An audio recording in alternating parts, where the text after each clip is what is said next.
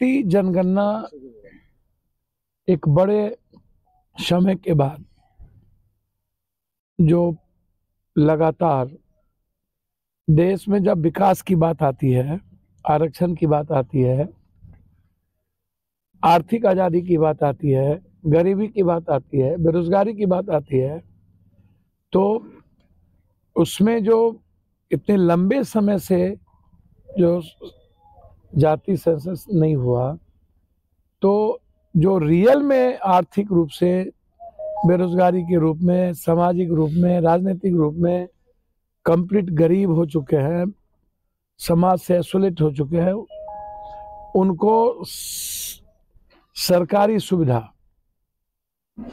जैसे आरक्षण क्यों मिली थी? आरक्षण का मतलब था कि एक जो निचले तबके के लोग हैं, जिनको शैक्षणिक रूप से रोज़गार में, नौकरी के रूप में जिनको बढ़ने का मौका नहीं मिला। तो जाति जनगणना का मतलब राजनीति नहीं है।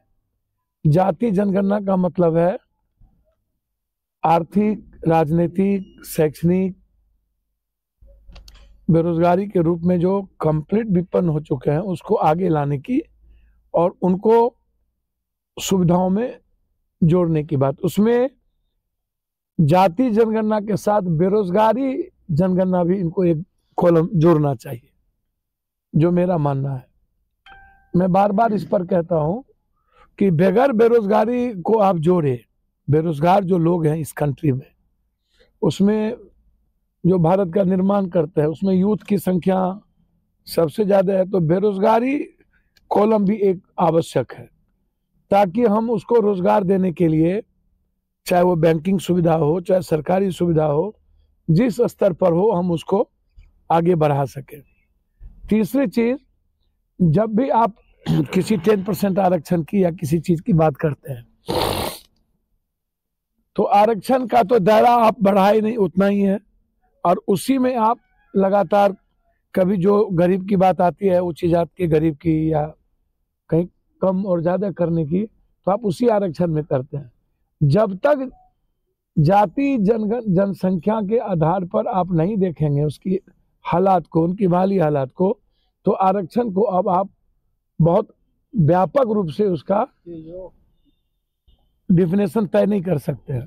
तो इसीलिए जो लोग ये उठा रहे हैं कि शैक्षणिक, आर्थिक आधार, उसमें जातीय जनगणना के बाद यह बेसिक मतलब रहेगा कि जातीय जनगणना आप करा लीजिए और उसके बाद तब जा करके मैं तो पहले भी कहा जिसकी जितनी जनसंख्या उतनी भागीदारी आप करिए।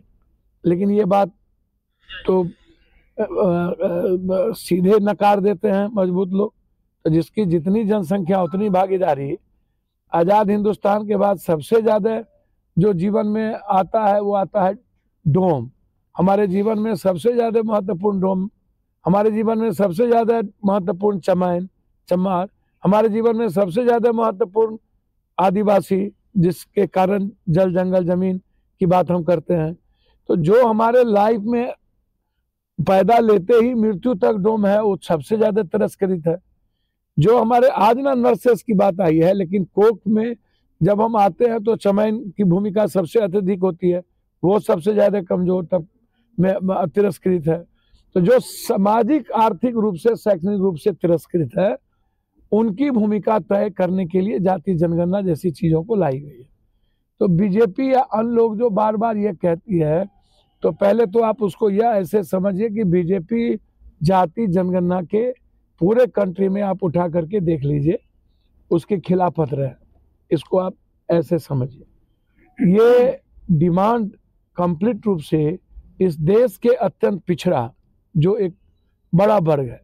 इस देश में जो दलित है एस टी जो बड़ा वर्ग है, इस देश में जो ओबीसी क्लासेस है, जो बड़ा वर्ग है, आप जब ओबीसी और अत्यंत पिछड़ा की बात नरेंद्र मोदी जी आप करते हैं, दलित और माइनॉरिटीज की बात आप करते हैं तो उनको सामाजिक और आर्थिक आधार पर हिस्सेदारी और भागीदारी मिलनी चाहिए ना। तो बगैर जाति जनगणना के हिस्सेदारी और भागीदारी कहाँ से मिलेगी? मेरा ये सवाल है।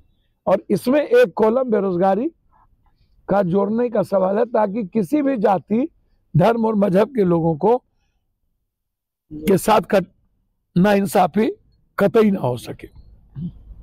बेरोजगारी का मतलब बेरोजगारी, उसमें ना जादव है, न ब्रह्म, न भूमिहार, न राजपूत, न पासवान, न राम। बेरोजगारी का मतलब बेरोजगारी तो उसमें सामाजिक आधार बिल्कुल इक्वल हो जाएगा, जिसकी बात हम लोग करते हैं।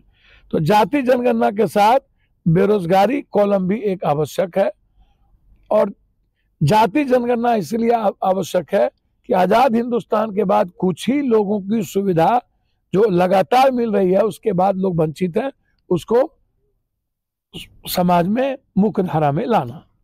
ये एक बेसिक चीज़।